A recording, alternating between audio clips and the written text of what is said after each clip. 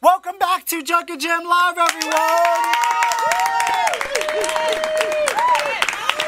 Now, before I forget to mention this, this beautiful sweater is the sweater as the gift I got from Constellation. Thank you, guys.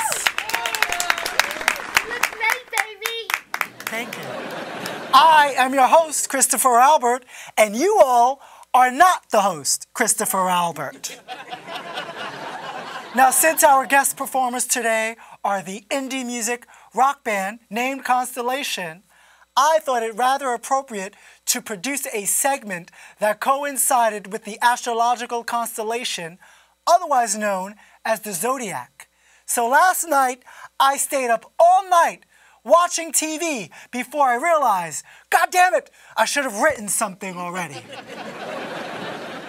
Which I finally did. So, for those of you interested in meaningful, visionary guidance about how your life is interpreted by the sun, moon, planets, and stars, this next segment is definitely not for you. But for those of you interested in pointless, clairvoyant nonsense that's just going to waste everyone's time, stay right where you are.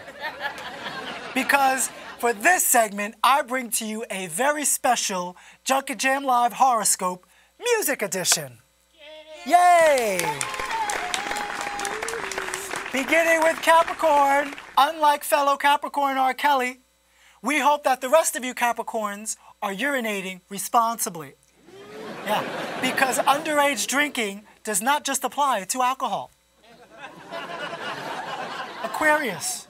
Shakira is an Aquarius, which makes total sense because I can never understand what Aquariuses are ever saying or singing. Pisces. A Pisces, like Rihanna, has sex appeal and style. But unless you are her, no one really needs to see your nipples out in public. So go ahead, Pisces. Go change into an actual shirt. We'll wait.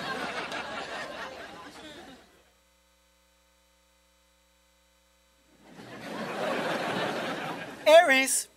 Lady Gaga is a good example of how Aries are never afraid to be daring. So dare to do something radical today, Aries. Try saying something nice about someone for a change. Taurus. The day your fellow Taurus, Sam Smith, declared that he didn't like Michael Jackson was the very same day that affirmed my long held belief that Tauruses are full of shit. Gemini. Our Gemini friend Kanye West recently visited another Gemini friend of his in the Oval Office, which I think is a great idea for all Geminis to adopt. Just mingle and live exclusively amongst other deranged Geminis. because guess what, Geminis? The rest of us will not miss you. Cancer. You know who else is a Cancer? Solange Knowles. And like her, your only wish is to be noticed. So go ahead, start a fight in an elevator and do it quickly. Because the sooner it's recorded and it goes viral, the sooner we could all go back to not caring about who you are. Leo. Leos are known for being tenacious and persistent, which means they will stop at nothing to prove to the rest of us just how special they are. Listen, we get it, Leo. You're talented, and you want the world to know it. But that doesn't mean you need to be so desperate about it. Madonna. Virgo. Michael Jackson, Beyonce, Pink are all incredibly successful musicians who happen to be Virgos. But don't let that make you other Virgos feel bad. There's absolutely nothing wrong with being an incredibly successful bus driver. Libra. Snoop Dogg is a Libra. And that's about all you Libras have going for you. Scorpio. Fellow Scorpio Willow Smith considers herself a pop singer, which is a good lesson for the rest of you Scorpios.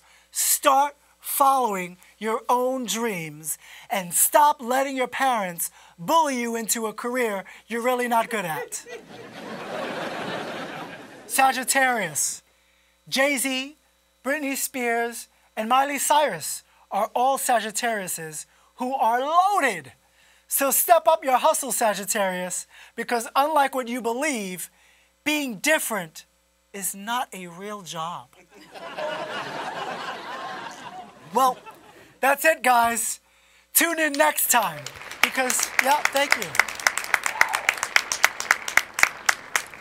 Tune in next time because there's a good chance I won't be doing that segment ever again. this is Junk and Jam Live, everyone. We'll be right back.